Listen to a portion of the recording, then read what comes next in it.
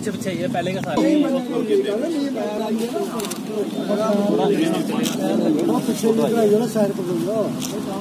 भारत माता की। भारत माता की। भारत के शहीद। भारत के शहीद। देश के शहीद। भारत माता की।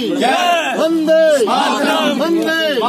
वंदे वंदे मातरम मातरम वंदे मातरम मातरम वंदे मातरम। भारत माता की। जय। भारत माता की। जय। भारत के शहीद। हमारे हमारे भारत के शहीद। हमारे हमारे हमारे मुंबई के शहीद। हमारे हमारे मुंबई के शहीद। हमारे हमारे मुंबई के शहीद। हमारे हमारे छब्बीस ग्यारह के शहीद। हमारे तो आज जो हमारे शहीद हुए थे मुंबई के अंदर आज के ही दिन और हम सब मिलकर उनको श्रद्धांजलि दे रहे हैं।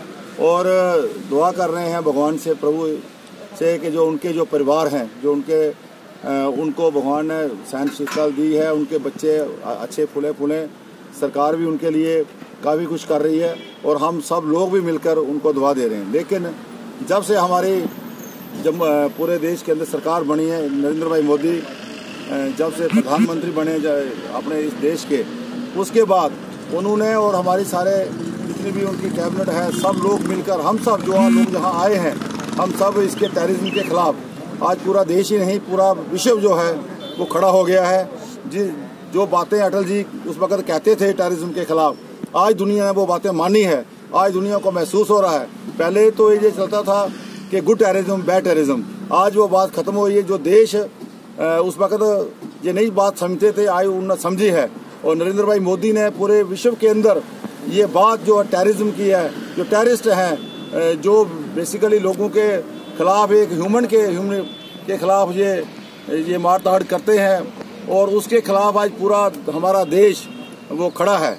विशेषकर हमारा जम्मू एंड कश्मीर, हम लोगों ने बहुत सहा है इस इस टेररिज्म को। उसके चार साल से हमारे देश के अंदर भी, हमारे जम्मू कश्मीर के अंदर भी मिलिटेंसी का बड़ा फ़र्क पड़ा है। भले ही कई कई क्षेत्रों में होगा जो हमारे शहीद जम्मू कश्मीर में हुए उनको भी हम आज श्रद्धांजलि दे रहे हैं और श्रद्धांजलि फ्रीडम फाइटर एसोसिएशन की तरफ़ से। और मुझे यहाँ बुलाया गया मेरे साथ ये हमारी कॉर्पोरेटर इसी बाढ़ की वार्ड नंबर सोलह की सतारह की और वार्ड नंबर अठारह के कॉर्पोरेटर गणेश जी और मेरे साथ ये सा, सारी एसोसिएशन के लोग हैं। टाइम टू टाइम ये लोग शहीदों को याद करते रहते हैं।